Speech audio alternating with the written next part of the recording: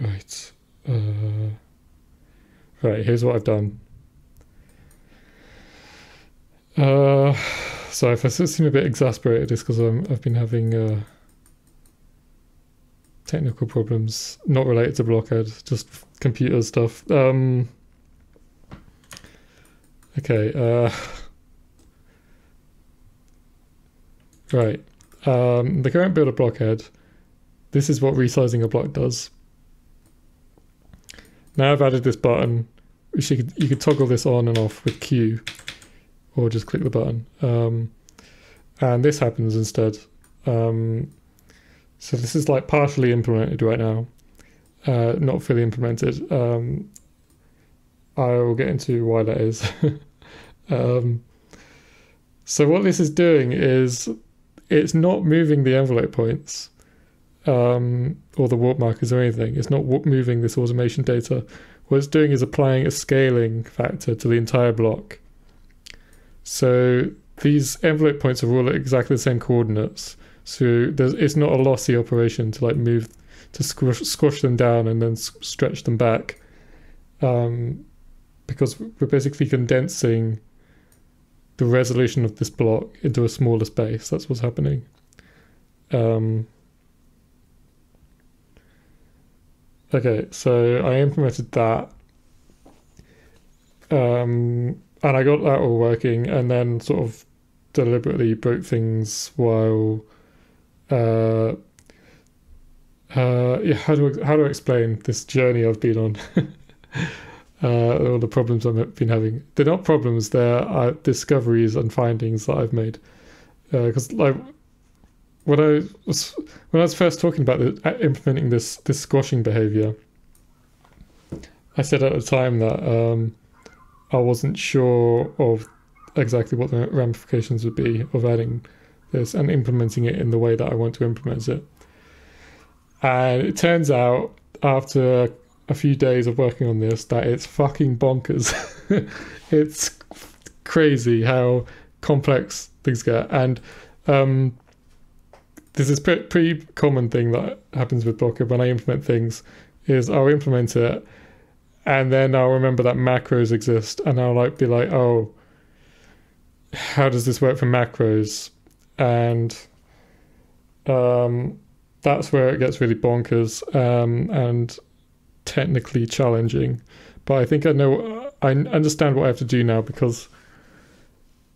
Uh, I'll show you what I've done for macros um, so far. This is incorrect. What I've done for macros so far is incorrect. Um, I thought it was a correct. I thought it might have been right at the time. Um, but I've since realized that this is wrong. So if I create a ma macro of this, this is how it sounds.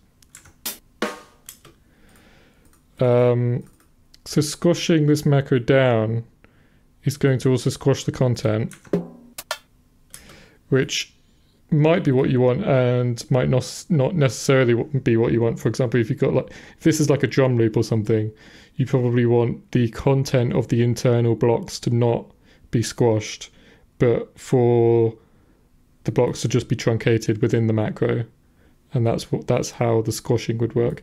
But uh, there should be no option for both, like being able to squash the entire content like this is also nice. Um, right. And uh, then if you have, for example, another macro inside the macro, um, how's this going to work? So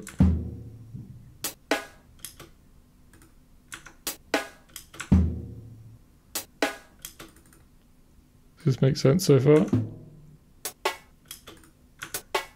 But then when I open this macro, oh, look what happens. This is the original scaling of the macro because this macro block does not have any, any scaling applied to it. But within the context of this parent macro, this macro has scaling applied to it. And so from, from this context, this is how the macro sounds. But in this context, this is the original macro. Because um, don't forget, like just as a primer, like you uh, not a primer, that's the wrong word, but a refresher. This macro block, you can create a clone of this macro block. So I have two instances of the same macro block now, one over here, and then one that exists inside this macro. So it's the same macro, but in two different contexts now.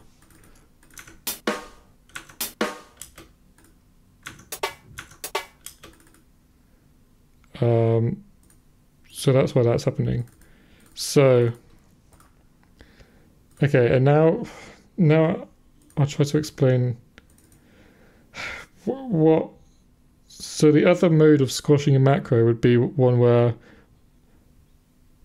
rather than the content of each block being also squashed, when you when you squash the macro down, it would instead just um, the mouse input doesn't work properly in this uh, squashed macro, by the way, because I haven't, uh, like I said, this is like half implemented. Um, but when you squash the parent macro, this would instead just truncate uh, rather than squashing the actual content. So the way that's going to work is if you have this like special macro squashing mode where it should not squash the contents but truncate the contents instead, what's going to work, it, what's going to happen is I apply a scaling to this macro, but I also apply um, the inverse scaling, which is what will be applied to the content. And so the end result, um, after like squashing this macro down in that special mode, would be if you like to half, if you were to like squash it down to half the size, for example, this would this would um, get squashed down to half the size. But then this um, this uh, the scaling to the content would be applied, so it would end up like this, basically. Um,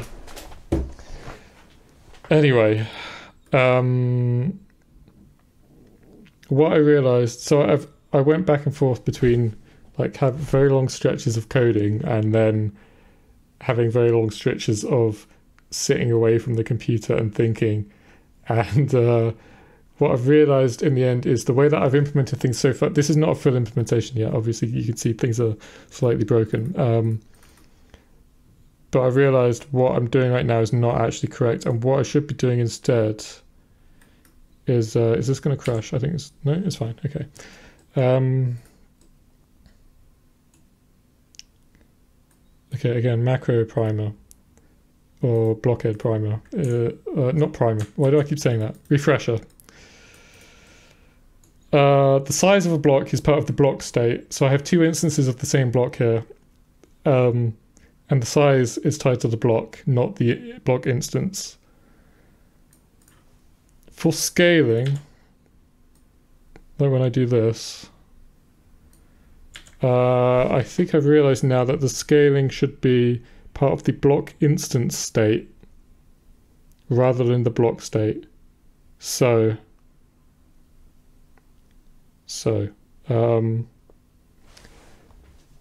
when you when you have two instances of, of the same block and you do a squash operation on this one, like I'm dragging the right hand edge of this instance, I'm not touching this one. Then what this should do is um, just apply the scaling to the this block instance on the left, and this one should have the original scaling.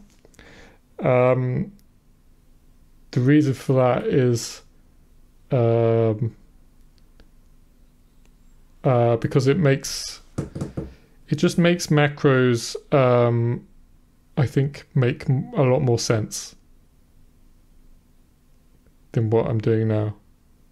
Um, it makes cloned macros make more sense. So we wouldn't have that problem of um, uh, like when you have a macro and then mac another macro inside the macro. If I squash this macro down to half and then open this nested macro, um, we pop out into this other dimension where we're looking at the original macro because this is not how do I explain this? When you create a clone of a macro, you can enter the macro from two different locations, right? Um, but you're entering the same macro regardless of where you enter it from. It's the same macro. It's not different macro. Even though when you when you open it from here, the view sort of shifts so that it opens from the location that you opened it in the parent context. And same here. It's just sort of an illusion that I'm that you're opening opening this macro or this macro. It's the same macro. You're just popping into this alternate alternate dimension where this workspace mac this macro's workspace is at the top of your view. Um, and so that's the reason why if you open a nested macro and it's been squashed down, when you open this macro from here, from this context, you don't have the scaling anymore because this macro doesn't have any scaling. This macro is still at like the original scaling. That's why you, when, you, when you open the macro, you see the original scaling. But you, when, when you look down on the macro from this context, because this macro has scaling applied to it, um, the macro is smaller than it actually is. Right. Uh, so what I want to do is I want scaling to be a per block instance. And then when you open a macro, we're going to take note of the context from where the macro was opened. Um, first of all, we need some UI, maybe in the bottom right here of a macro workspace, just saying what the current scaling is that you're working at. And um,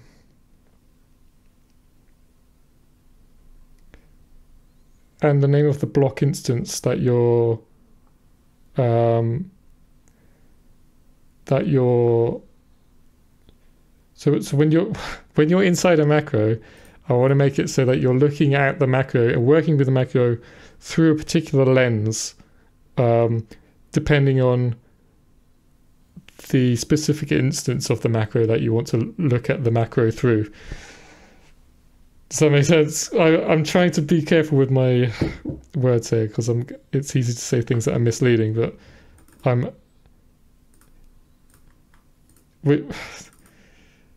I want to be able to when you're looking when you're working on a macro, there needs to be some way in the interface to first of all show the scaling that you're working at either you'll be working at the original scaling of the macro, which should always be one, um, or if you have like a, an instance of the macro which is squashed down to half the half the size, the scaling would be two or zero point five or whatever.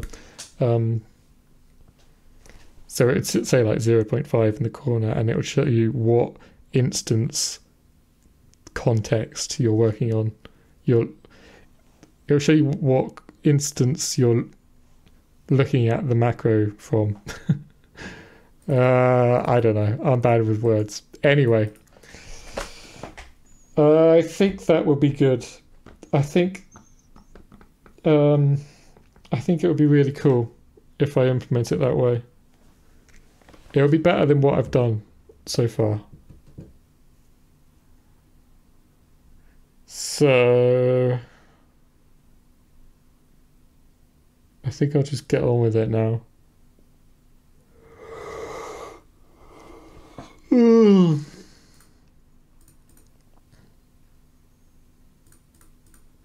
right. I've had,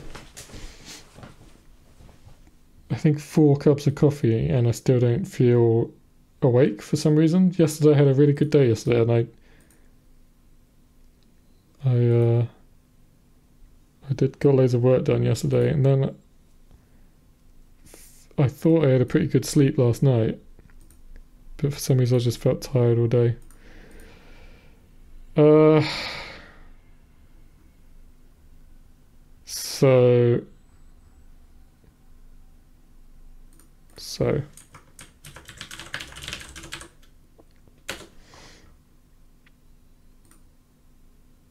Um, yeah, so you can see block scale. So instead of being part of the block state, it's now going to be part of the block instance state.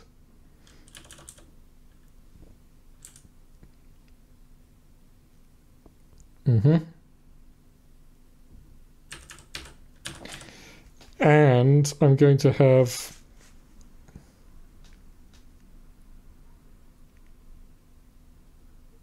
Yeah, no, that's fine. Um, macro block.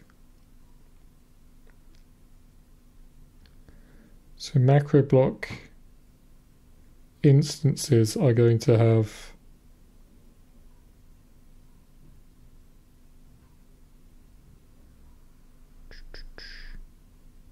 Oh yeah, the other um, the other reason why um, making the scale part of the instance state. No, forget. I'm I'm, I'm abandoning that train of thought because that's going to be too complicated to explain. Um, I've missed out a bunch of details because it's literally too complex complex to explain. But I think I've I've communicated the basics of this issue. uh,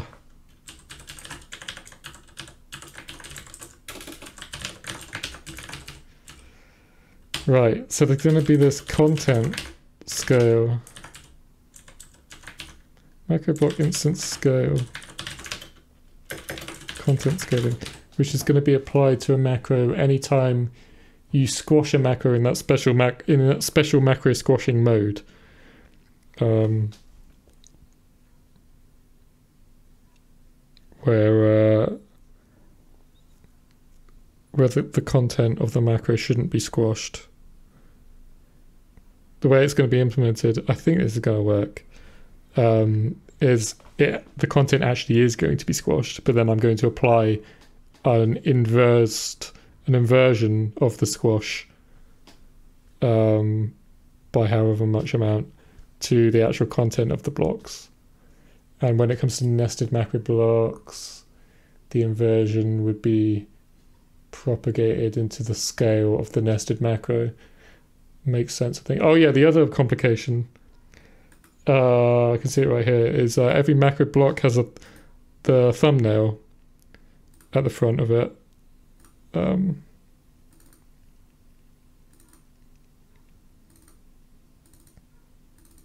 just open the uh, old one. Certificate and macro. This uh, this thing with the colored blocks here that sort of represents the inside of the macro. That's a thumbnail, and that is a. I think it's like a 500 pixel wide image, which is just stretched depending on the zoom level and. Uh, um, it's just stretched, right? Um,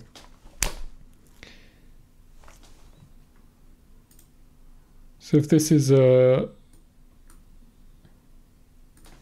if this exists inside another macro, if I was to then squash this macro down in my special squashing mode, which is supposed to like um, result in a truncation of the internal blocks rather than squashing, then let's say this was squashed down to about half, this internal macro should end up like that. Um, in this case, that works fine because the macro thumbnail being part of the block state works fine. But um, we're going to have, it's going to be possible to create clones of this same macro block in different contexts, in like squashed and unsquashed contexts. And so this thumbnail that we're generating, we can't use the same thumbnail for every instance of that macro block anymore. Um, so there's two ways to deal with that. I can either create a, a separate thumbnail for every instance of the macro block, uh, which I don't really want to do, or I can generate the thumbnail differently and then present it differently. So at the moment, the way the thumbnail is generated is I generate pixels from here to here, scaled to whatever it is, 500 pixels. um, I just generate this image. Um, instead, what we should do if if this if we end up with this being truncated or whatever. Um,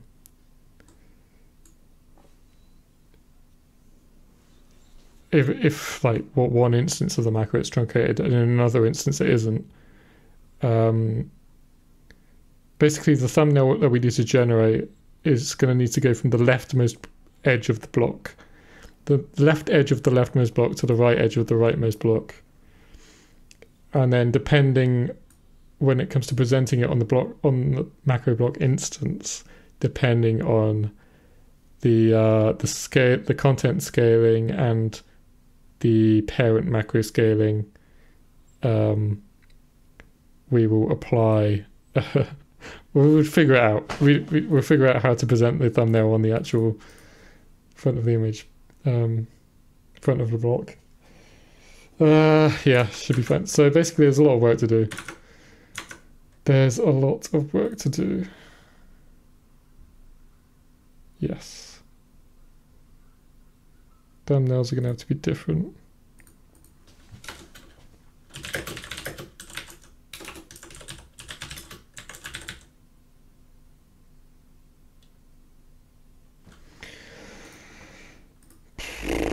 Okay.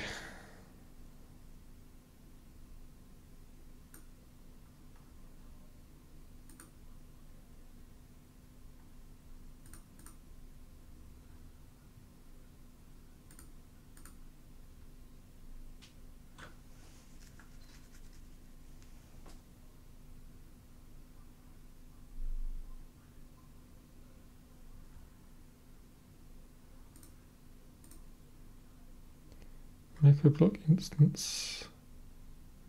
Block instance. Okay.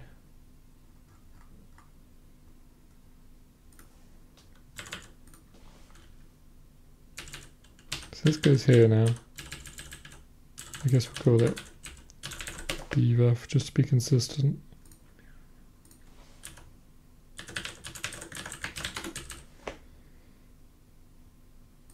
Right. Um, and we also need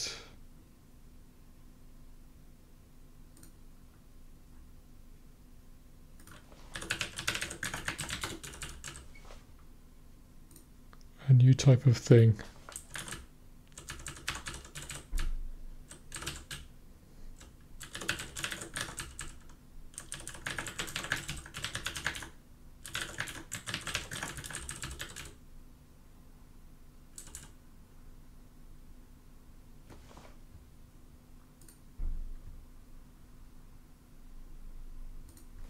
Oh yeah.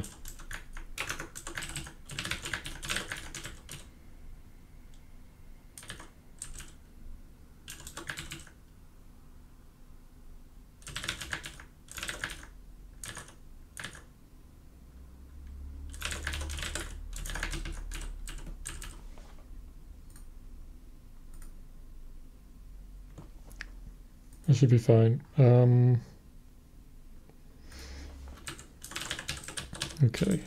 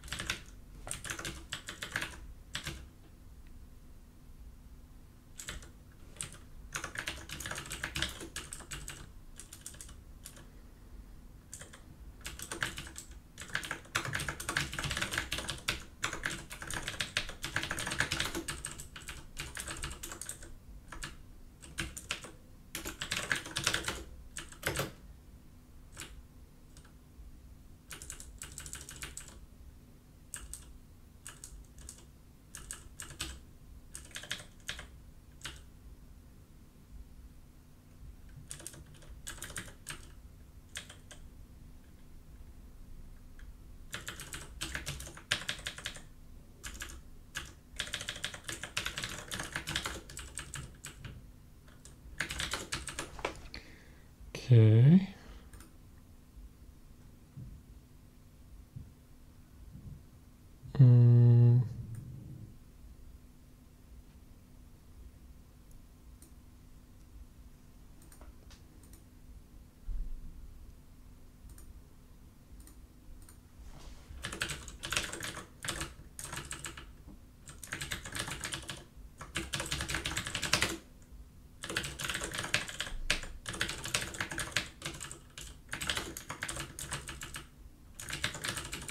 Let's just search the code base for block scale.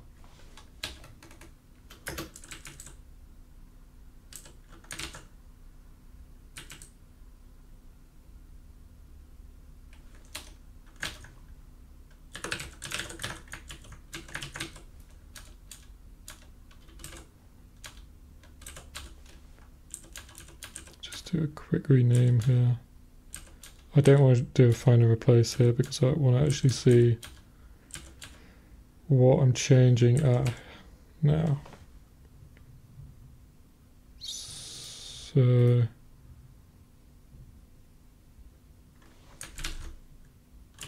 yeah.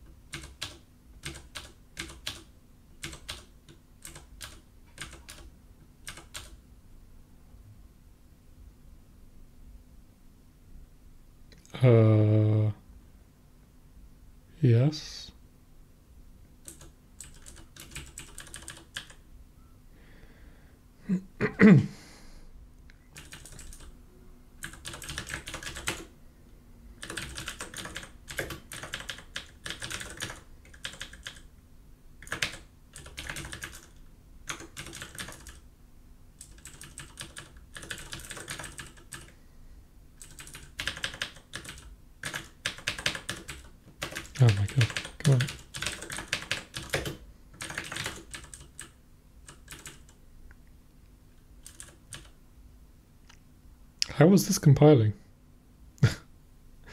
this shouldn't have been compiling. So this doesn't...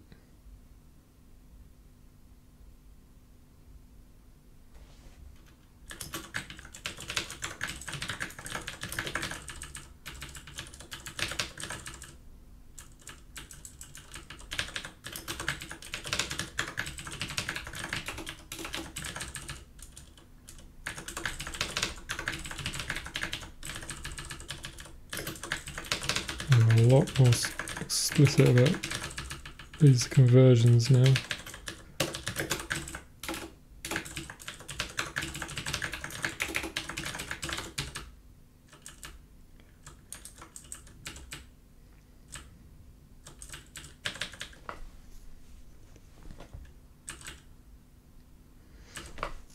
It was nice of Visual Studio to not recompile this file, despite, the fact that the uh, dependencies changed, I think, about 12 hours ago.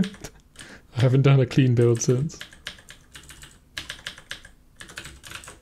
F index. Yeah, current graph ID. So do I need this block ID? Yes, okay. Um,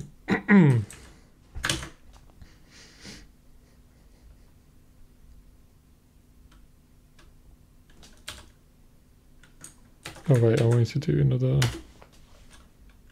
Not that, this one.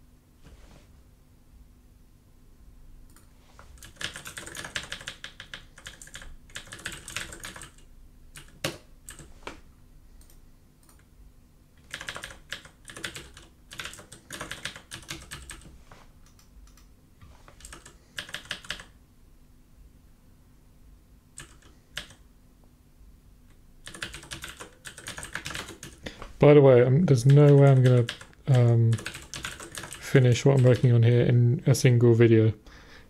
So I don't know, in like, I don't know why people watch these videos, but if you're watching it in the hope that there will be like a beginning, middle, and an end, uh, where I introduce a problem and then solve it, uh, it's not going to happen. it's, it's going to take at least a few days, I think, to get this done. um, right, this is different now.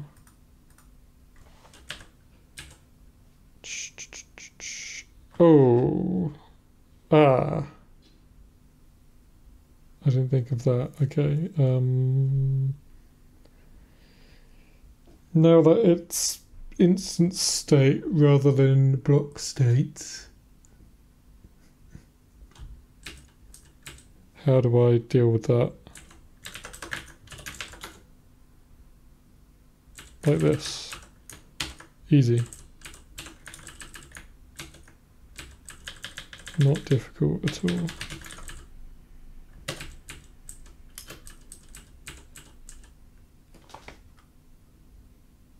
Hello?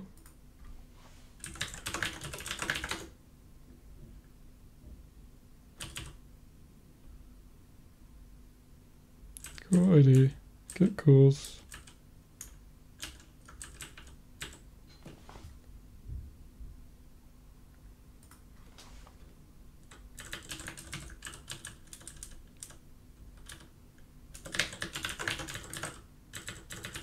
I don't know what the problem is here.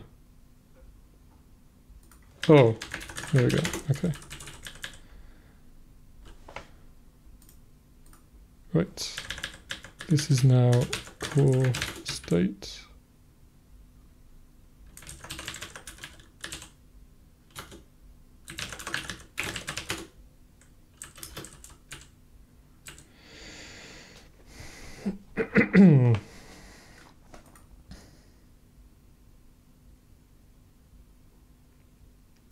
Ah, now I don't think I actually need to do anything here. Because this was one of my early experiments with implementing the squashing. And I realize it's not necessary. So let me just have a think. Let me have a think here. All I need to do is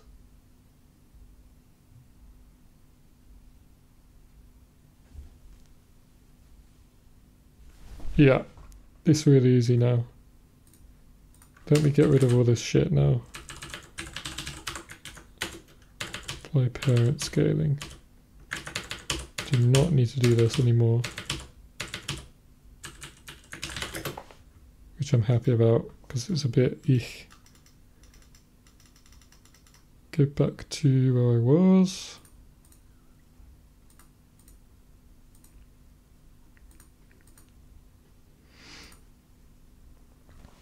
Right. Uh,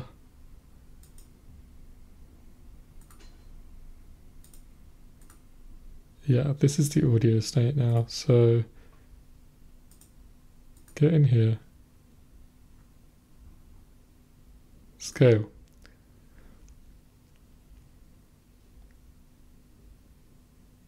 Oh, and I added this as well, which is not going to be needed.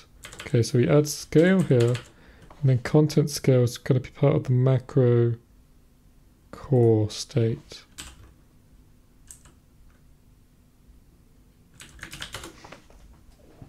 Okay.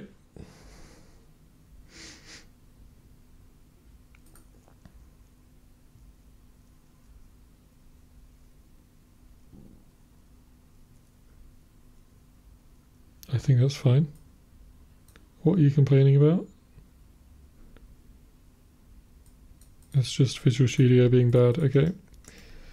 Let's go back to here. Corridor.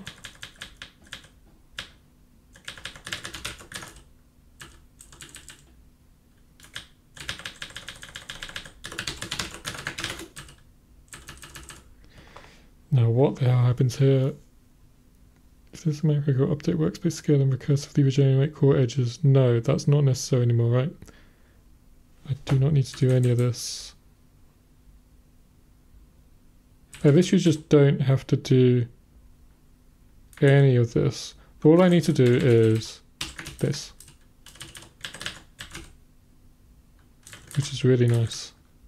It vastly simplifies this crap that I was trying to do before.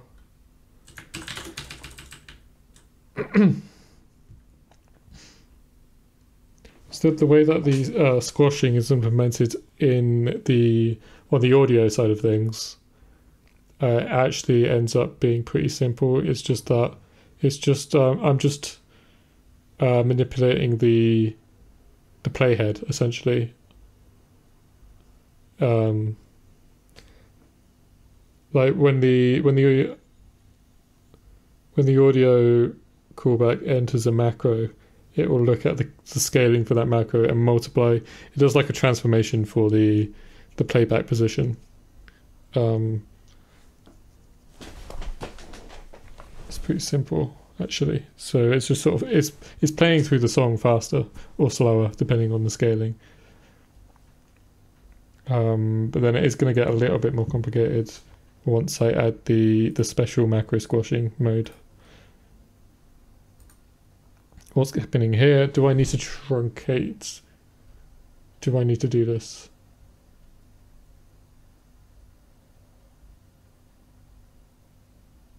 Macro scale. Is this actually necessary? I added this for a reason. Did this end up actually being necessary at all? Is it necessary? I mean, it's necessary to truncate, but is it? Does the scaling actually matter? Let me think. Let me think. Let me think. Blah, blah, blah.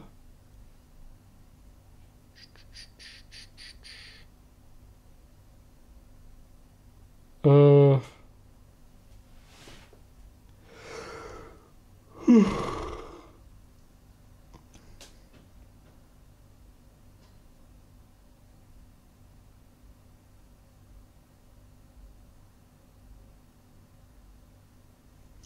I think it is necessary to do this. Um,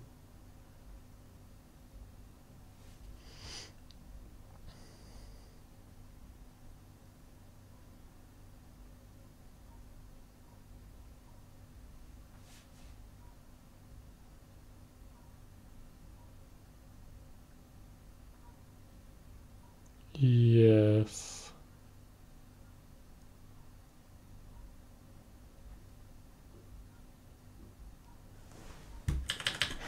Okay.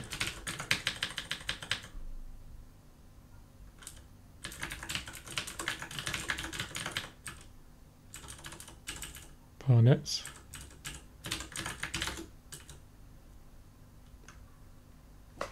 Okay, go back here. What's happening here?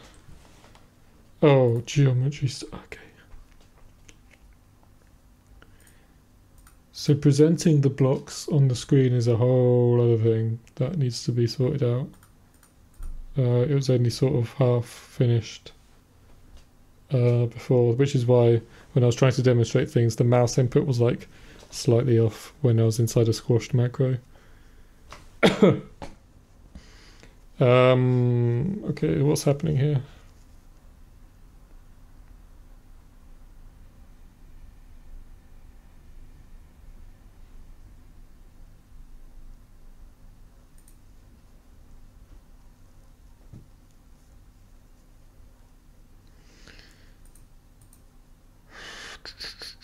Okay.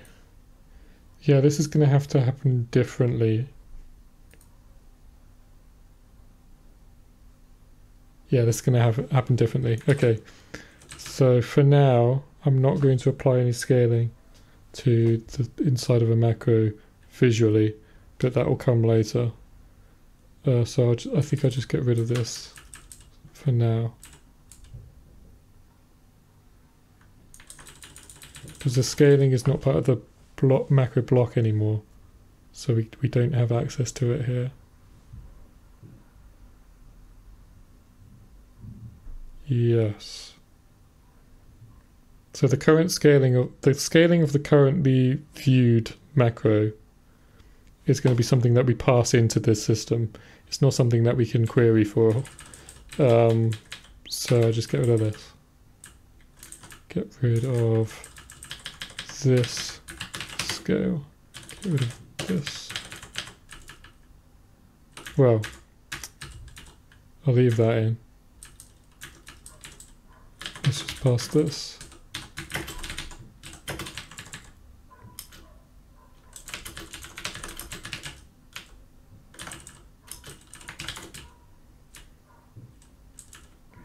That's fine for now.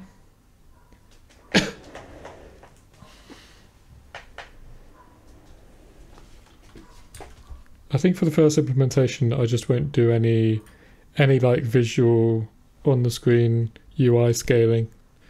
Um, I will just get the audio working first. Uh, what is happening here?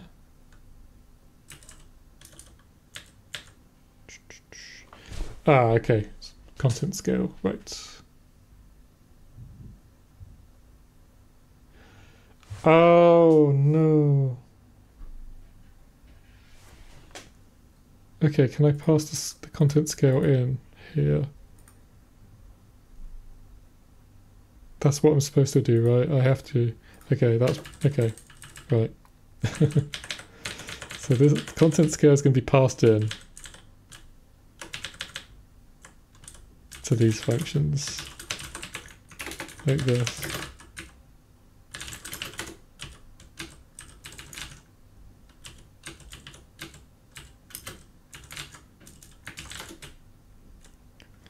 So I'm going to have to do the same thing. Okay, this is all fine. It's all fine. Stop panicking.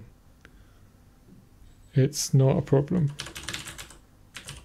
This all makes sense, I think. I'm pretty sure this makes sense. Content scale. So this content scale is going to be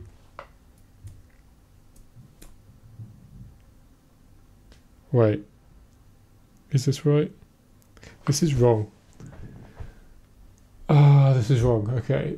Let's see. Let's think a second.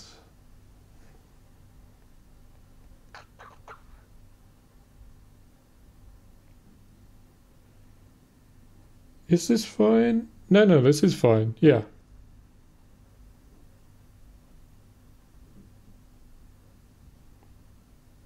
Yes.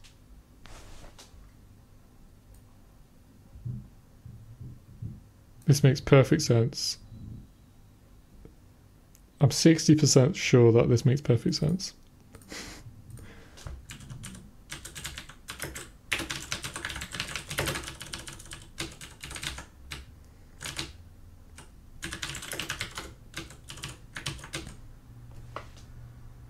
And here. No, I did that one already. This one.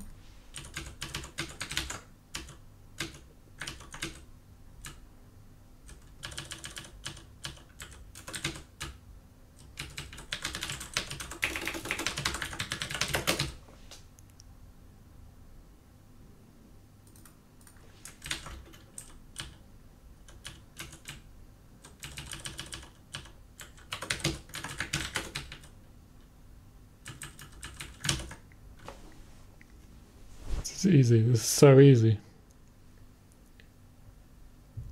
What an easy problem to work on. Uh, right. Oh yeah. Ah, okay.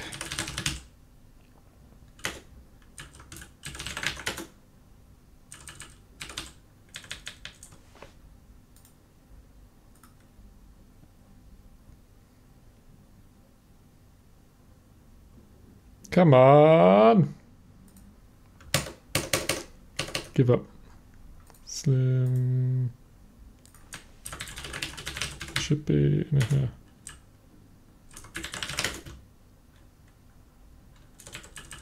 Okay, so this is scale. Here. Ah! What just happened? Is it trying to build right now? Is that what's going on? No. Don't know what's going on. Maybe I'm running out of disk space.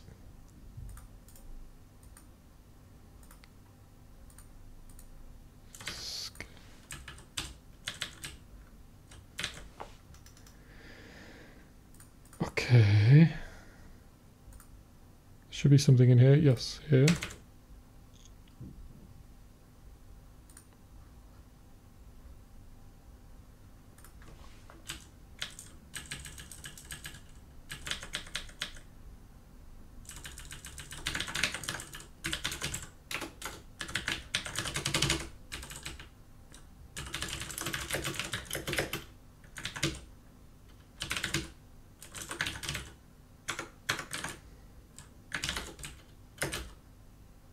Mm-hmm.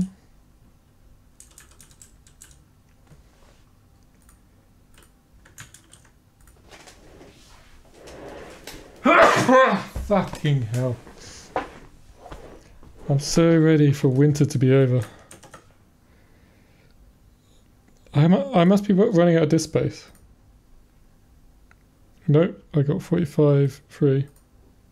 So this is just Visual Studio being shit. Let's restart.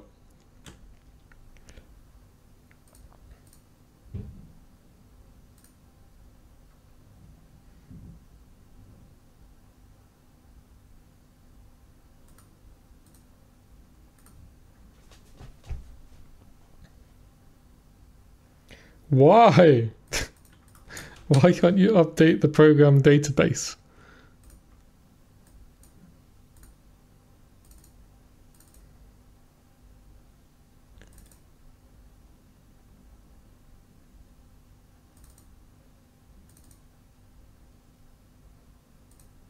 Right. VC143. Delete. Now go again.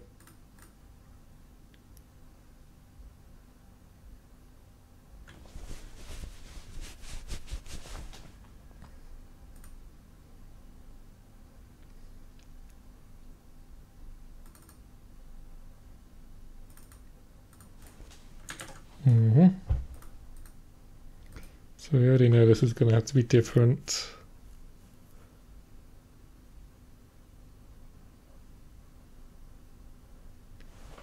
Yeah, yep, yep, yep. So I just get rid of the scaling stuff that I added. These thumbnails are going to have to be generated in a different way. Should be simple because this is this stuff is pretty simple.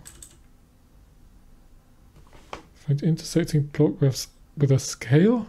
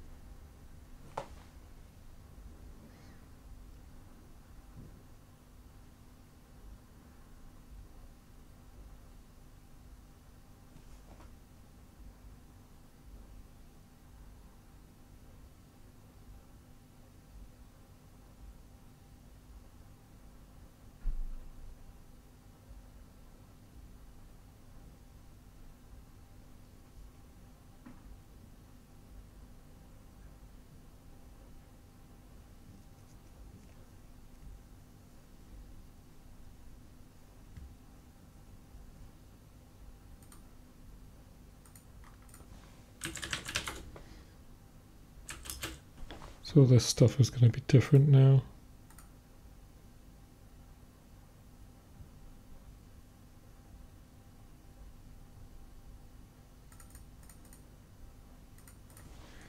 Hello. Uh, yes.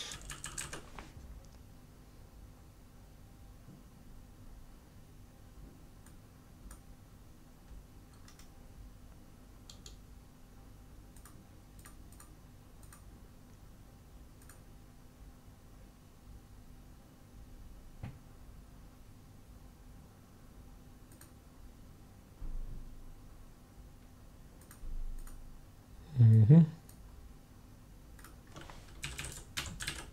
Ah, I okay. So this will be content scale. Oh, what? Wait, how, there. Why am I passing the scale in right now? I don't think it's. Uh, to check if. No, this is not needed right now. This was part of my experiments, which turned out to be much simpler.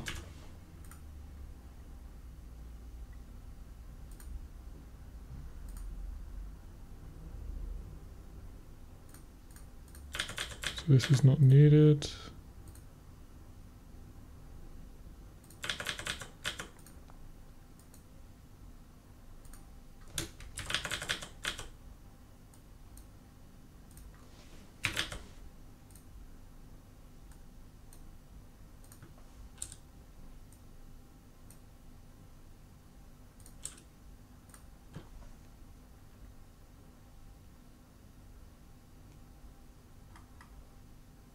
Right, good. Okay, so we do need to propagate this value, but it's going to be called content scale instead.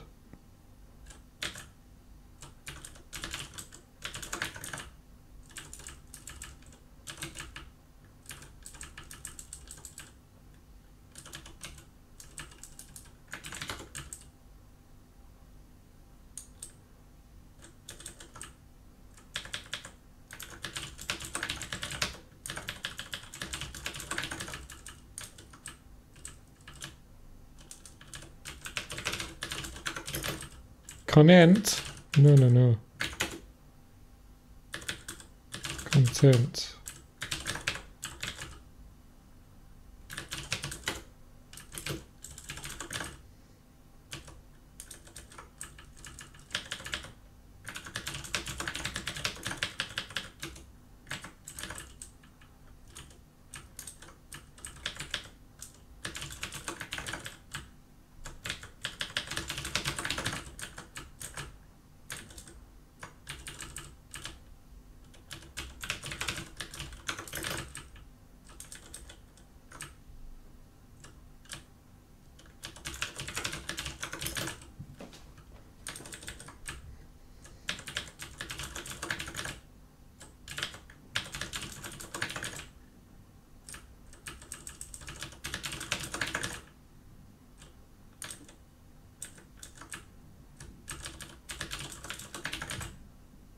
This is not needed, is it? No, again. That was part of my my experiments yesterday, which didn't turned out not to make sense. Uh, no, I need this to be like this. Okay.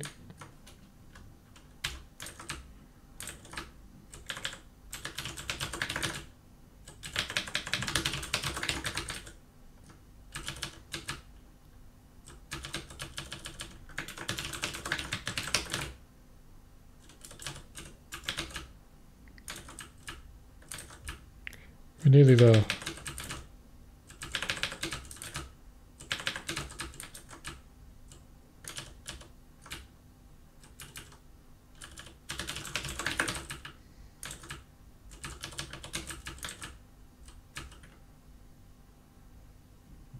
Is this right?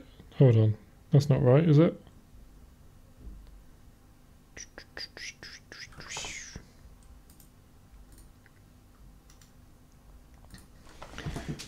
Workspace render. Uh, right.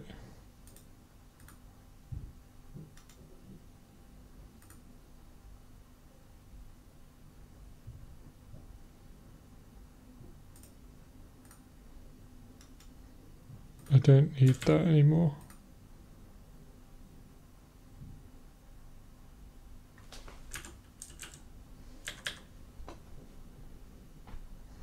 Um,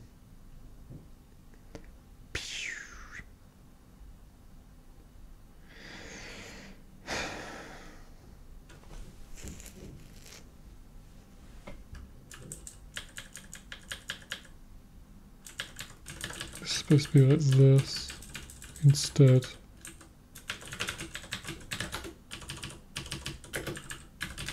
Wait, well, how does this work? I'll start within here. Okay. Okay, okay, okay. I think this will makes sense.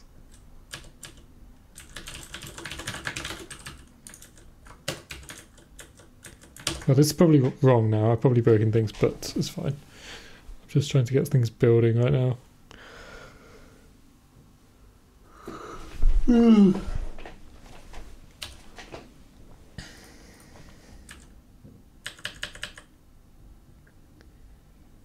Uh, okay, this stuff is going to be totally different now. Um, mm.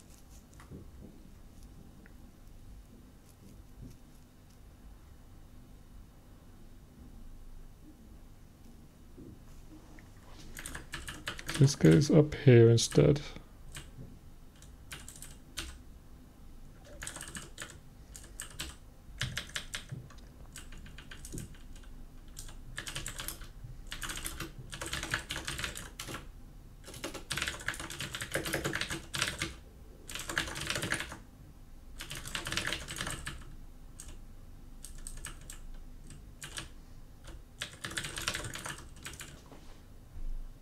Data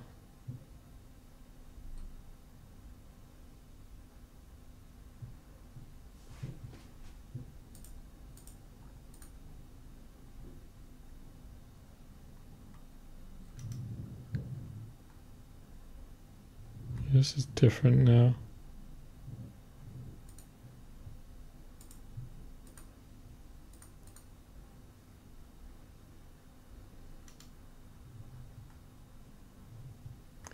This is very different now.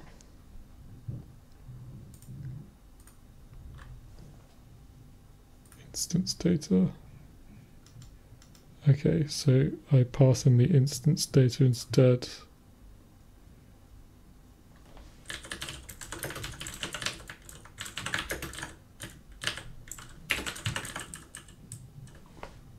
And the instance data is going to have the scale value. Start scale.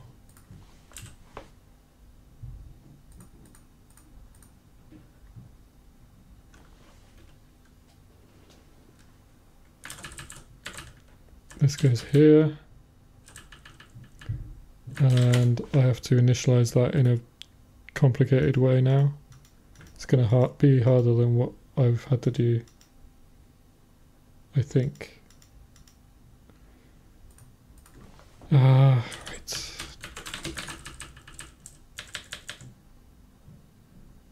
Set My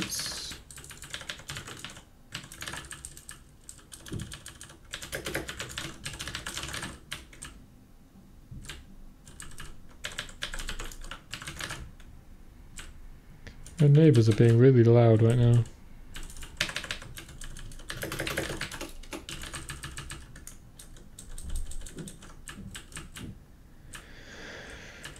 Restore start data.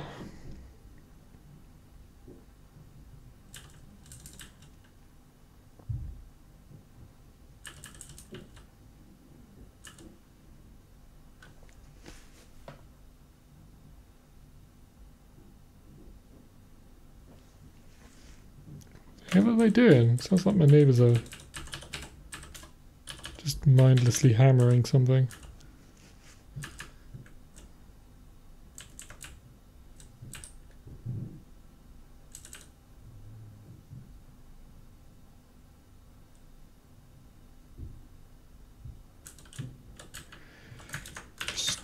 start applications.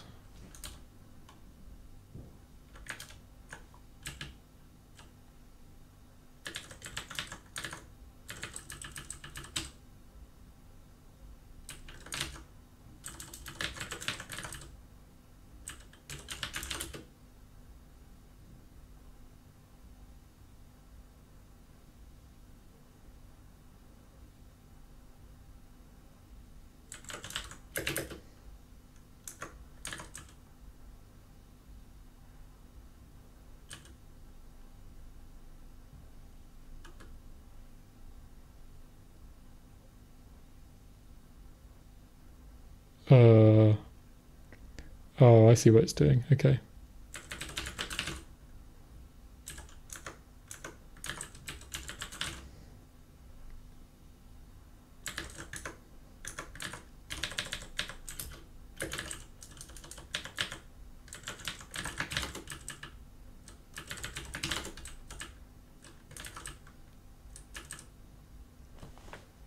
This is the undo redo stuff.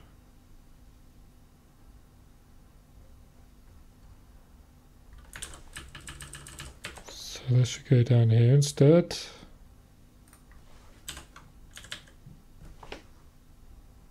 And instead of passing in the location. Oh, where's the. Okay. Alright, instance data. Oops. Uh,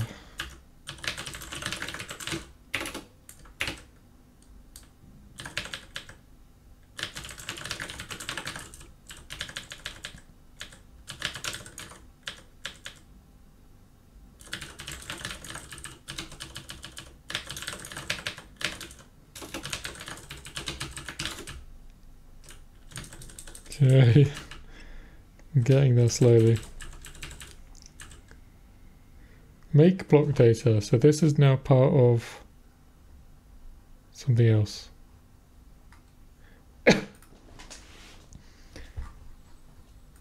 Make block data. Is there such a thing as a make block instance? I don't think that's it. No.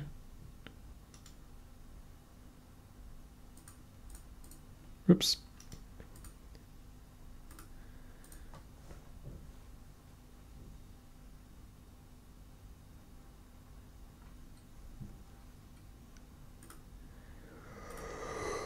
Uh, right. This is where I have to start thinking, unfortunately.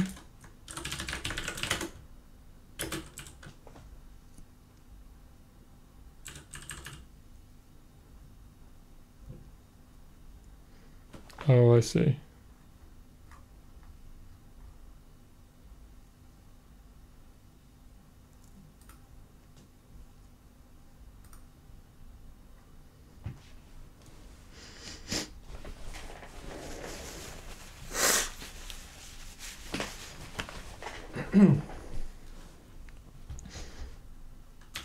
Should do this like consistently when I'm going like this.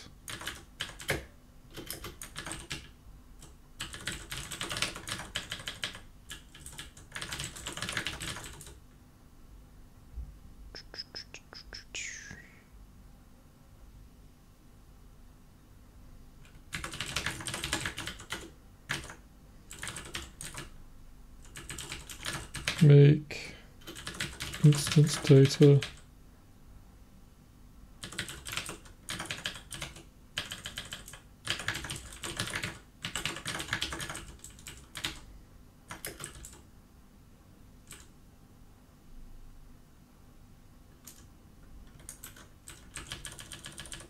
Yeah, that.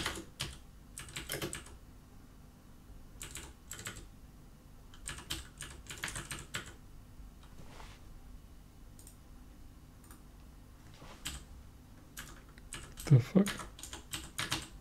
What? Just happened?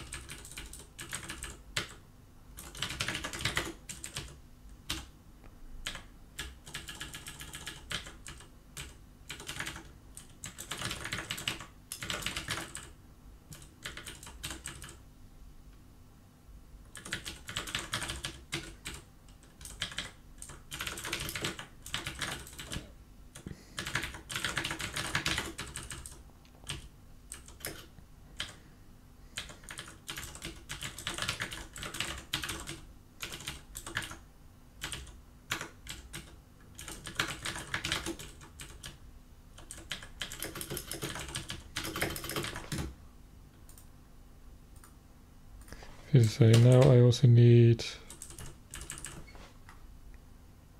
this. Scale is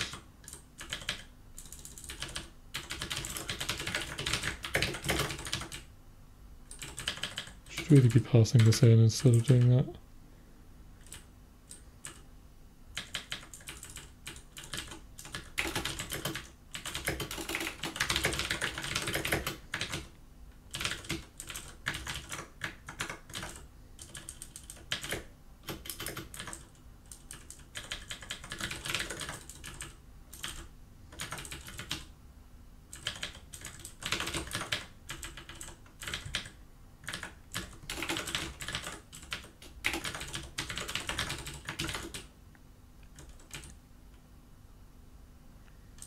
Oh, so I only do it like this, do I?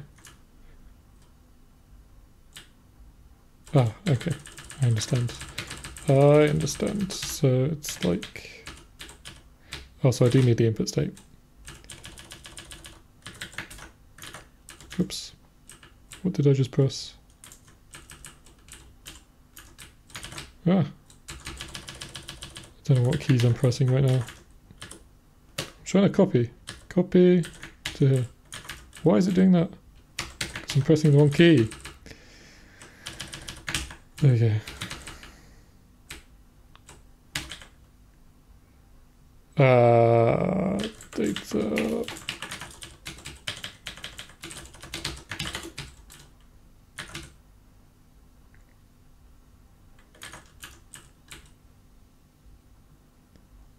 Oh, I need the size of the block. I see.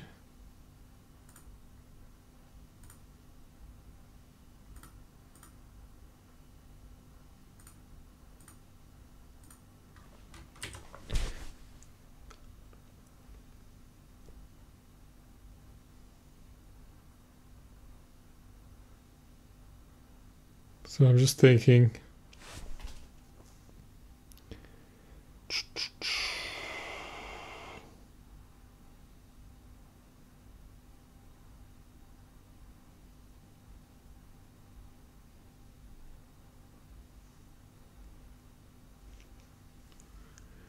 just thinking a second about various things. Yeah, having this the the scaling part of the instance state is gonna come it's gonna make things really weird in some places.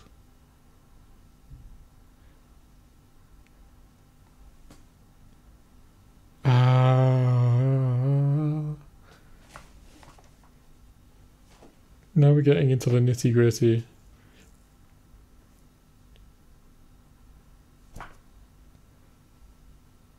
Because I'm assuming that the the size of these blocks are always the same between instances, but now they're not going to be.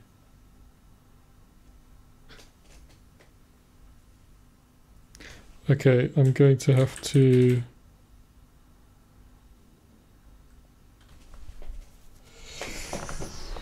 Ooh, hmm.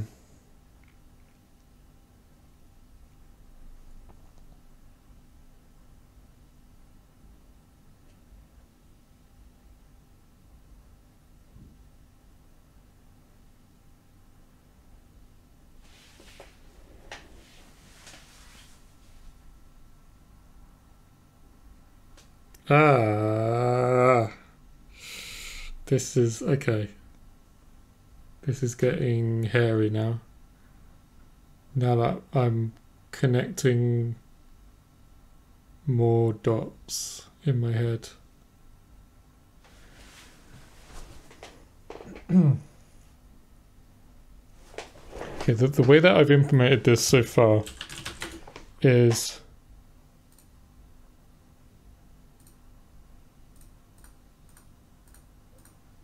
uh, you have a block, maybe it's a sampler block, so it's got a waveform on it like that. Um,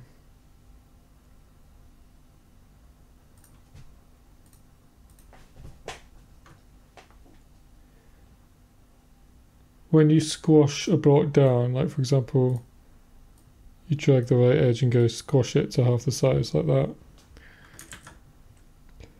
The way it's implemented so far is the size of the block is changing and the scaling factor. Because the size of the block is what's used. I mean, it's used for all kinds of things, but that's what's ultimately used.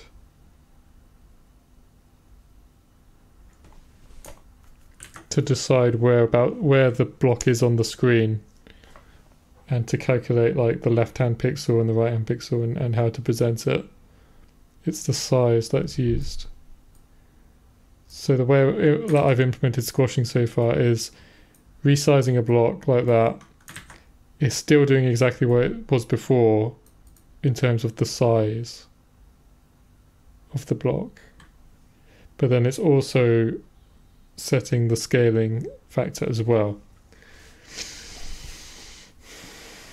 Now I'm thinking because the scaling is part of the instance state and not the block state, what I should be doing, I think, is making it so that when you squash a block, the size is not actually changed, it's just the scaling that's changed. And then the scaling is taken into account when we do the calculations to decide where physically the block is on the screen. So instead of, okay, that's fine. Yeah, it's fine. That should work because that's that's basically what I sort of half implemented already for viewing blocks inside of a scaled macro. So I can see that it works already because I already sort of did it. Um, but now it's now that's going to be happening for everything. It's always we're always going to be taking into the block. We're always going to be taking the block scaling into account when deciding whereabouts the block is on the screen.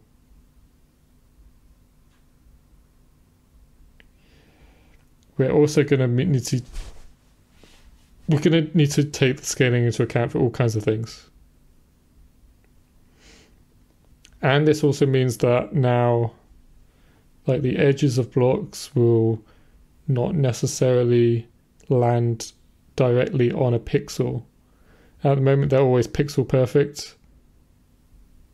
No, that's not true. No, that's not true at all. I shouldn't say that. They're, they're always um, they always line line up directly on a um, a song unit is what I call it in, in code, where the the the blockhead timeline has like a, a, fixed resolution. So each one of those increments, um, the edge of a block would always line up directly on on top on one of those increments. Uh, but now that's not going to be the case because we're going to apply the scaling to it. And it does that doesn't matter. That doesn't matter at all. Um, I think this is all fine. I think it's all fine. I'll keep going for a little bit uh, with the recording. Like I said, I'm not going to. I'm not going to be able to finish anything in one video. Uh, but I've been going for an hour already now in this video. Um, so,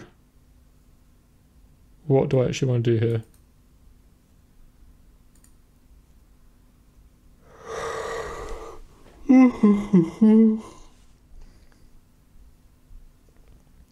what I want to do is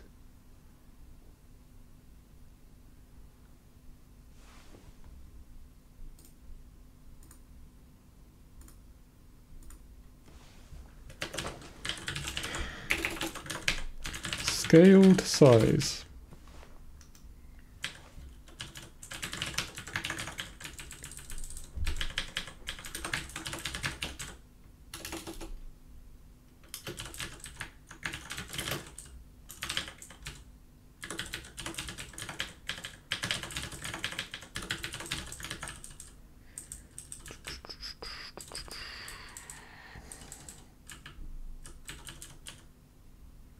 the scale size is going to be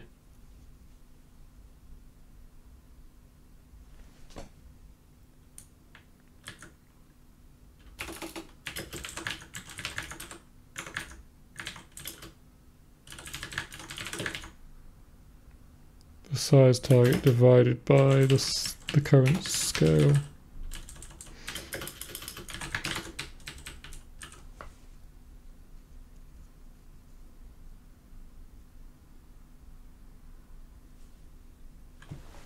And then we, when we squash an instance down, we're not going to be changing the size anymore.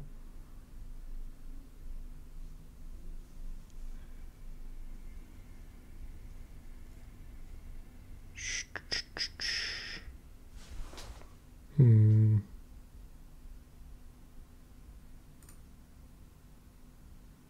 Do I actually need this?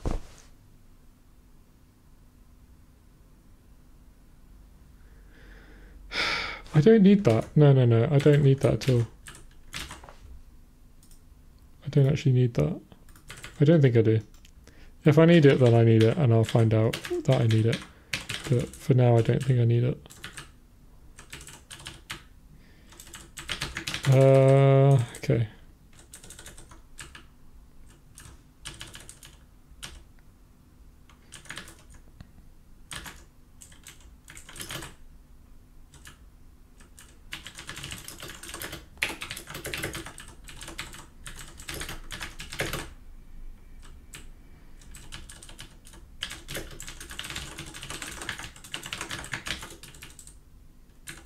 So where else am I doing that? Make block data.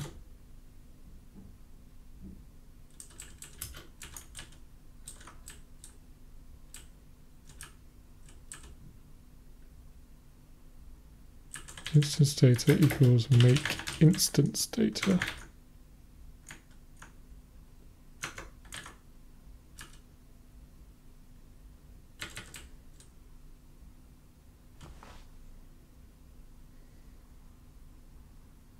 You not happy?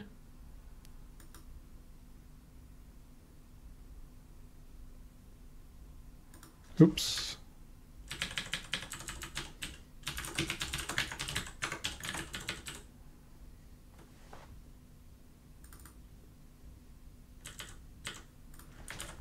Whatever that is. Um, is happening up here.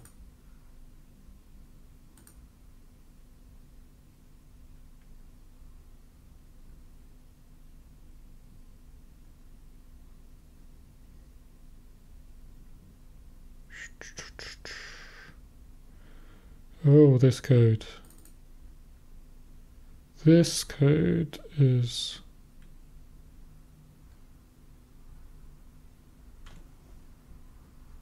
freaking me out. What's happening here? PP3 instances just add the data. Uh, yep, yep.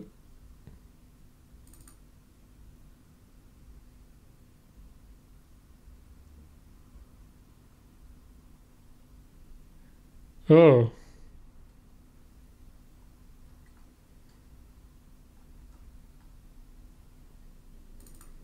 Instance. Okay, this is no good. What I've done here is going to overwrite.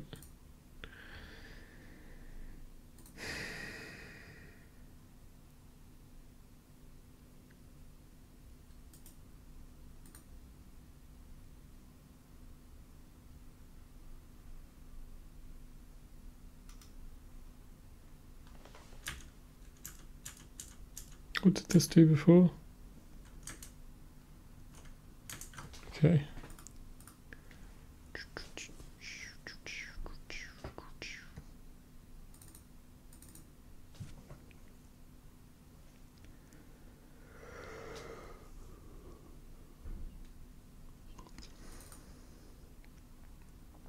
Okay, now this is fine. This looks fine to me. Because this is the new instance. And these are the existing instances. Okay.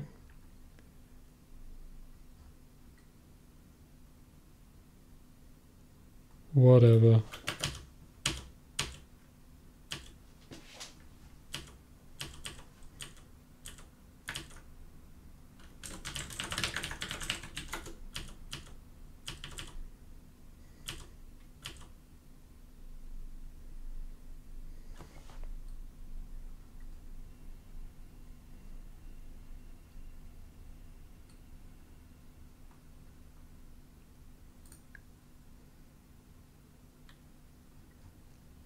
Searching for creating new instances. Yeah, again, this doesn't really matter because it's not going to be a resize event, but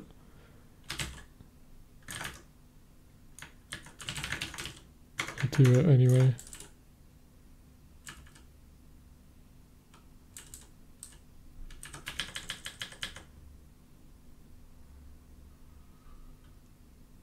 Oh, I see what's happening.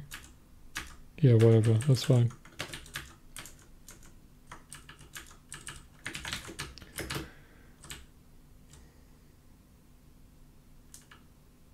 God, that's co this code is such a fucking mess. I hate this. Right, what's happening here? Make group position fixed size.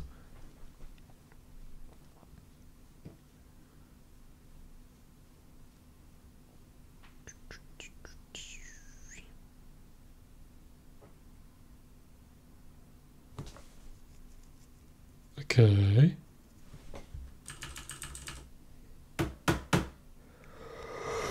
Group position fixed size.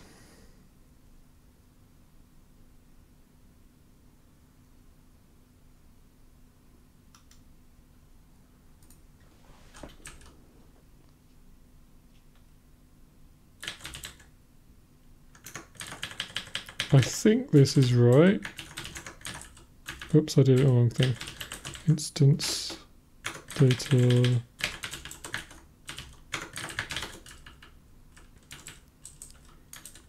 I might be right, I'm not sure. Uh, make group position for single sample.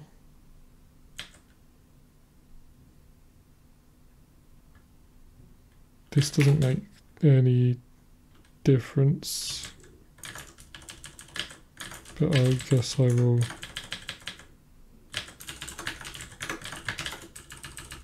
fill it out anyway. Um, save squash start values.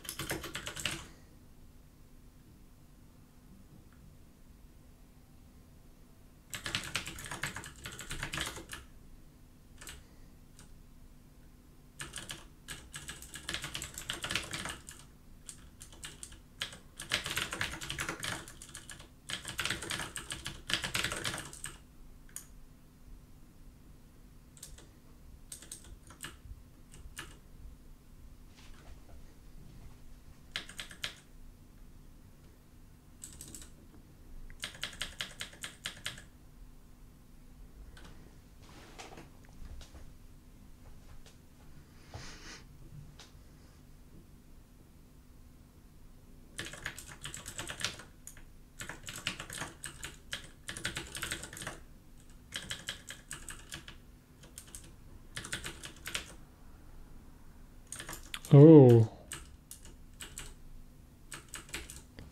I have to take the data offset into account, do I? Apparently so.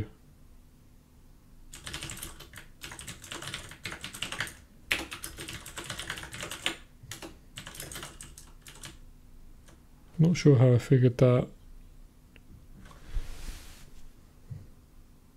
Resize squash.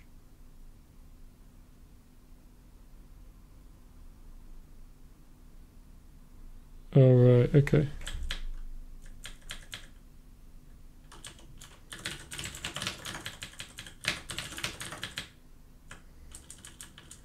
Oh, what?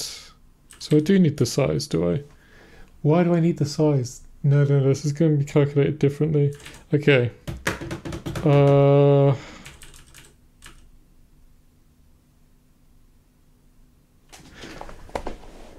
This has to be calculated differently now.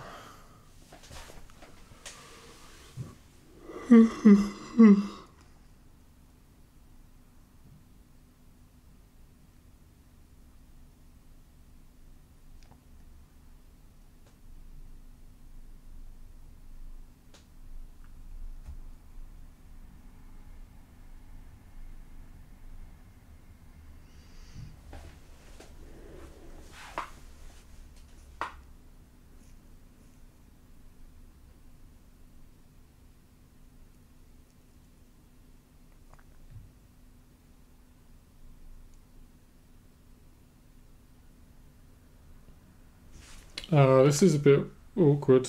This is a bit weird. Uh, this is weird because we're not going to be modifying the actual size of the block anymore. But we need to pretend like we are. Because that's how we calculate the scaling amount.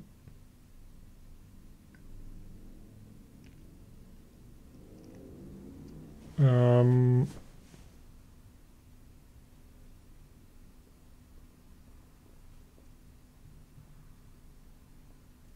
right. I understand. I understand.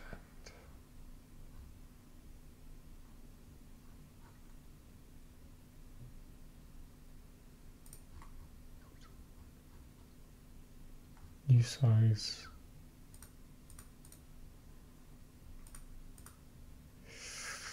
Ah,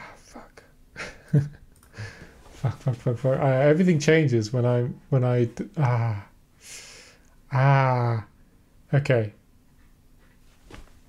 It's not a big deal.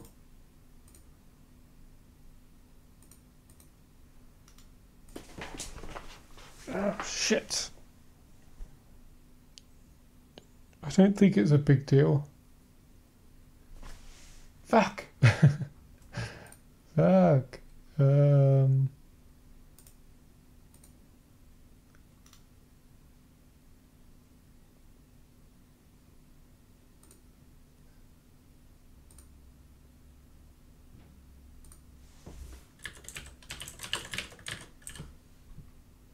So I do need the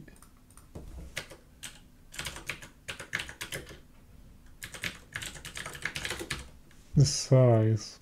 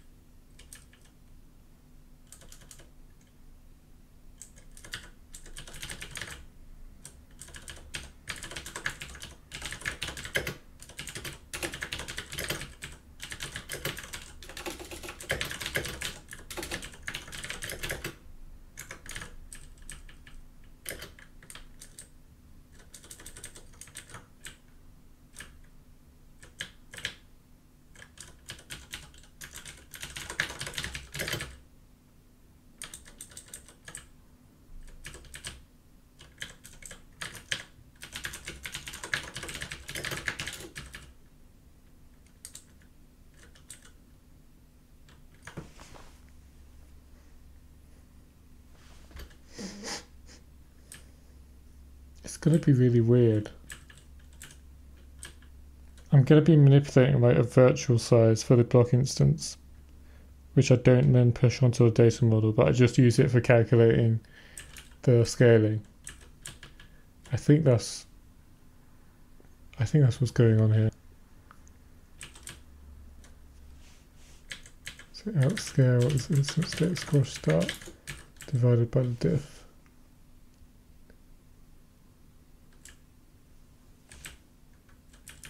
Yeah, okay, okay, okay. This I think this does make sense. I think it makes sense.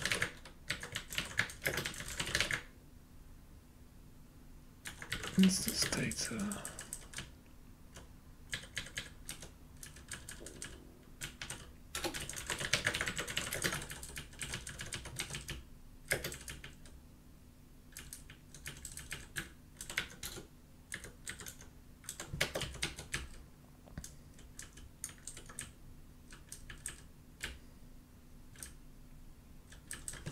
Right.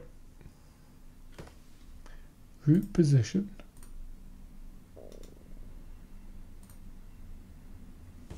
So root instance data scale. Root block data root instance data. Same thing here.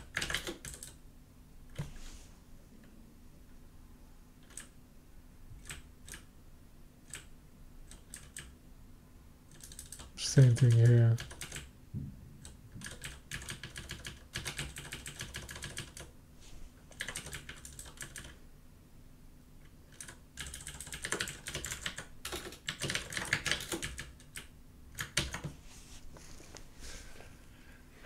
Okay.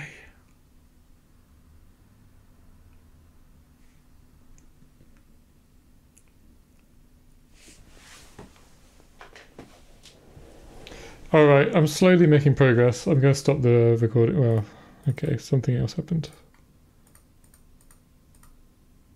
I think I'll stop the recording here. And this, this is very. Uh, this is a bunch of boilerplate that I have to change. Okay. Um, all right, bye bye.